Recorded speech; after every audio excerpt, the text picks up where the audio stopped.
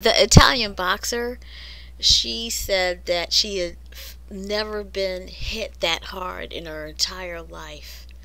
The the boxing match only lasted less than a minute.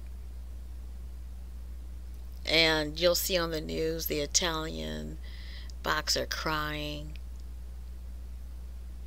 So this clip coming up is going to show you explain to you more about the tests, why the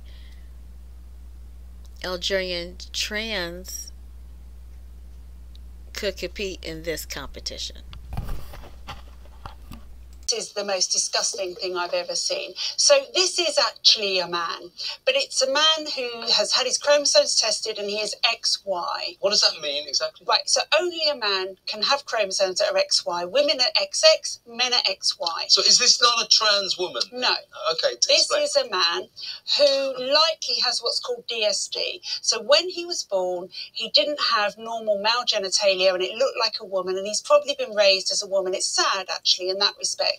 However, he will have internal testes, so he will go through normal male puberty. Mhm. He will gain all of those advantages and he will be as strong as a man boxing. A man in the boxing ring has 2.6 times the power of a woman when they throw a punch. female inmates are pregnant after they had sex with another inmate at the Edna Mahan Correctional Facility for Women in Clinton. That's the Department of Corrections. Last year, Edna Mahan began housing transgender inmates who identify as female. That's after a lawsuit filed by a trans woman who was forced to live in men's prisons.